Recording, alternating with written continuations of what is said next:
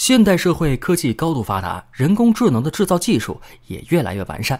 先进的机器人不但能帮助人类干活，甚至呢能够感知自身的存在。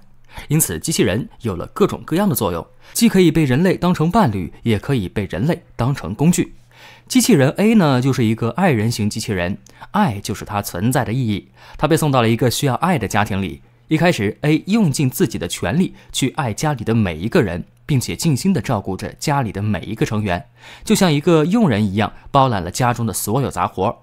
但是渐渐的，他感受到了家人们的回馈，他慢慢的拥有了自己的意识。也是在这个时候，他意识到自己只是一个机器，只是一个命令的服从者。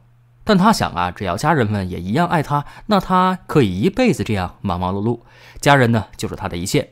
他相信自己也是家人的一切。但是后来，他的设计者告诉他，他的家人们并不爱他。已经有了自己思想的 A 接受不了这个事实。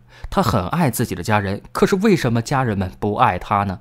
他想，肯定是家人们都坏掉了。为了让家人们爱上自己，他拿起了手术刀，尝试去修复他们。结局啊，自然不言而喻。A 的修复失败了之后，他又遇见了一个少女小美，他一眼就爱上了小美。但是小美看到他的时候，眼中充斥着的只有恐惧。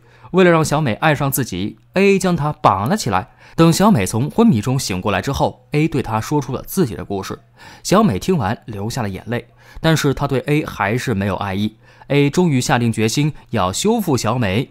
或许啊，这次他可以成功找到修复方法，这样呢就可以成功让所有人重新爱上自己。最后，他拿起了手术刀，而小美在惨叫声中死去。